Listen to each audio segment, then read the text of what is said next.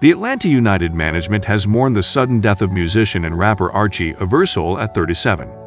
United said they are heartbroken by the death of Eversole, who is one of the club's most fervent supporters. We are heartbroken to hear of the tragic passing of Archie Eversole. A staple in the Atlanta hip-hop scene, Archie adopted Atlanta United before our first season and continued to be one of our club's most fervent supporters. In addition to his decorated musical career, his voice will long live in our supporters' minds as We Ready billows through the speakers for kickoff at Atlanta United matches. Our deepest sympathies go out to his family and friends, United said. The avid fans of Five Stripes adopted the Atlanta natives' hit song We Ready as the club's pre-match anthem sung passionately throughout the tailgates and before kickoff. Press the like, subscribe and hit the notification button for more amazing soccer news inside or outside Atlanta. Thank you for watching.